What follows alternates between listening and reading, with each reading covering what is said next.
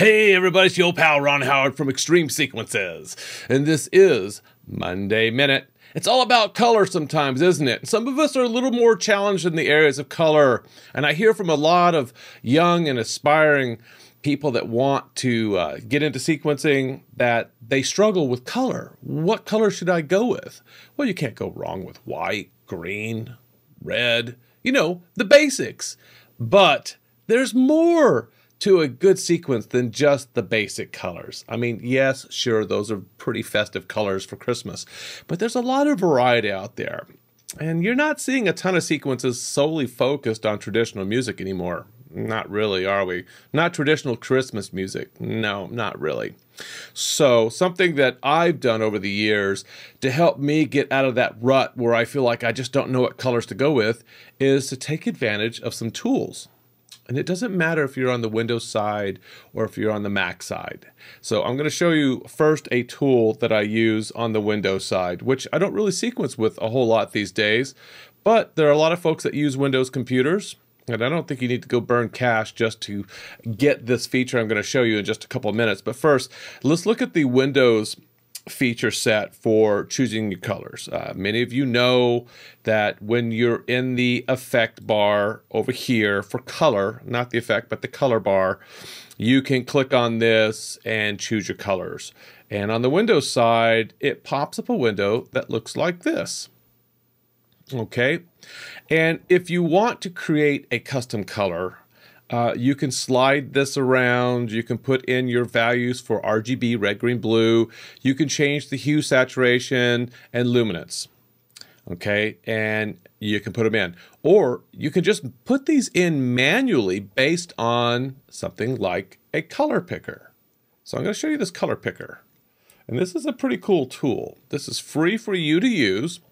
This is by imagecolorpicker.com slash en and you can pick your color online. And this is the very tool I used when I created all the color palettes for This is Christmas, A Nightmare Before Halloween. I really wanted to go after the colors that were in uh, that movie. And I did that by um, using this tool. As you can see here, if I drag around, you're going to see it adjust the RGB values here and there's hexadecimal values there for color, uh, or I can grab on any of these. So you can use an image.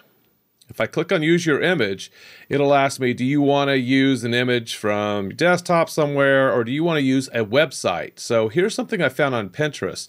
This, these are the colors that were used in The Nightmare Before Christmas. So if we copy this, and then we go over here to our color picker and we say, hey, you know, let's use a website URL. And you put this in here and click OK. What this will do is pull up the website and now I can start clicking on these colors. This is pretty cool, right? So if I click on this middle color here, here are the values that it pulls up. This first color. Okay, even though this is wrong, what I'm going to do is I'm going to copy this. I'm going to see if the code is copied. Well, we may want to enter this in 228, 211, 180. Okay, 228, 211, 180. If I go over here and click on this red and I go to my slider over here, I can type in 228, 211. Oh goodness, what was that last color? What was the last color? What was it? What was it? What was it? 180. Okay, let's get back to this and 180. Click into the field, and there it is. That's kind of cool. That's kind of cool, right? I like that. If you're on Windows, you don't get some of the comfort features I'm about to show you on the Mac side that's going to make you go, oh, why isn't this in Windows? I'm sorry, maybe later. And, and by the way, this is not a feature that is because of the developers' uh, input on this. It's just Mac has a certain way it handles colors and Windows has a certain way it handles it. So this is not a dig on anybody. Uh, and so what I can do here is I have all these colors. You can see I have a lot on here because I copied my RGBFX file for uh, for some training. I can take this and drag this right on top of this first color or put it right in front of it. And then there it is. Folks, if these videos are helping you out, along your journey of lighting with xLights, be sure and smash that thumbs up and subscribe to the channel so you get notifications when new content arrives. I sure appreciate it. Now it's in my library. As you can see, I have a lot more colors I can add to this library on the Mac side. So I'm going to drag this again. I'm going to put this down here. And now there we go. What I would love to see would be to have specialized color uh, palettes that I can name and here and be able to choose uh, at will.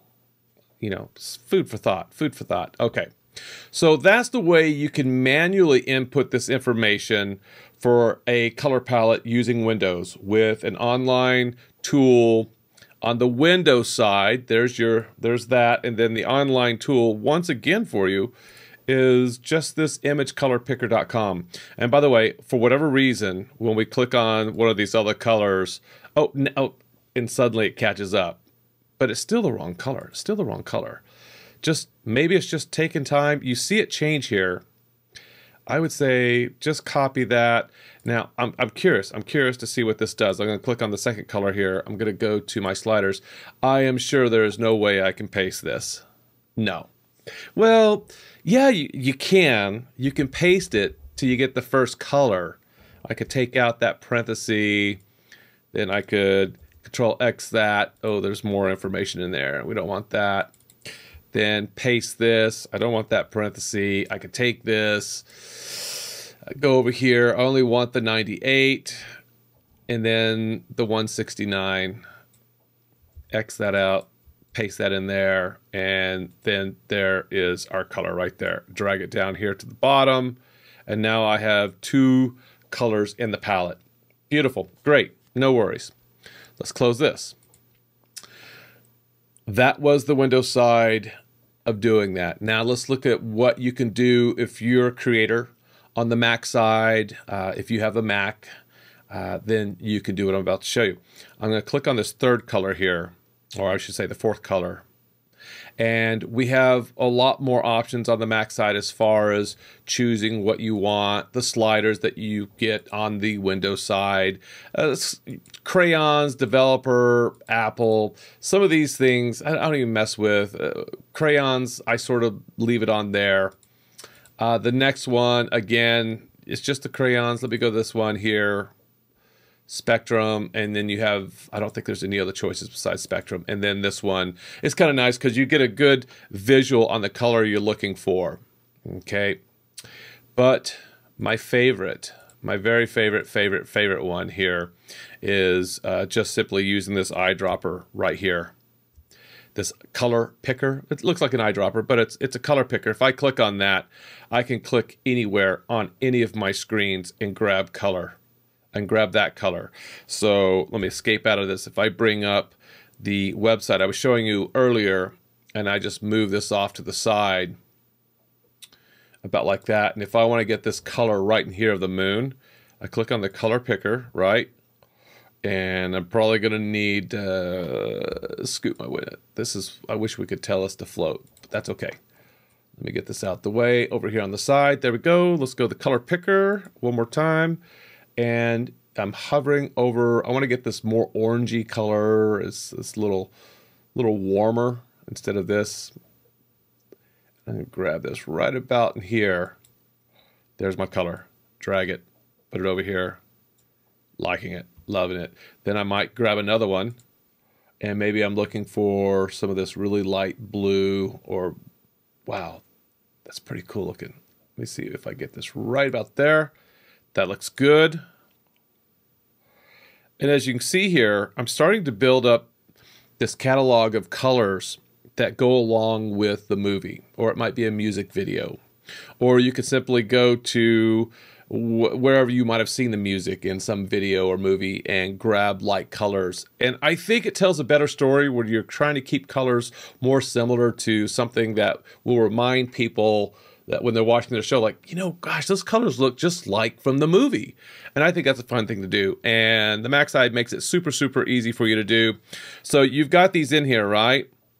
And you just want to click the one that you want. Uh, if we go with this color here and I X out of here, you'll see that now that color is in there. So if I if I want to replace this yellow color over here with something different, click on it Let's go over here into this color here. Just make sure it's selected, X out of it, and now there's the color. Beautiful. That's kind of cool. So I've got all these fun colors, and of course, uh, because it's a it's one effect there, you know, I can only choose really one. Oh, actually, yes, I can, but I need to be out of that. There we go. So there's all of our four new kind of cool colors that we created using a tool in xLights on the Mac side or the website if you're on the Windows side. You should be able to get any color you like. And it's kind of a fun thing to do. And it takes you out of that plain old boring red, green, white, maybe some blue. So be creative out there, you creators, and show me what you got. All right, this has been Monday Minute. See ya.